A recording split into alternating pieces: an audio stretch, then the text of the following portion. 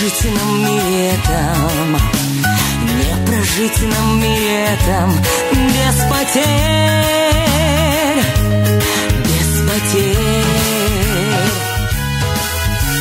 Не уйдет, казалось, лето, не уйдет, казалось, лето, а теперь, а теперь листья.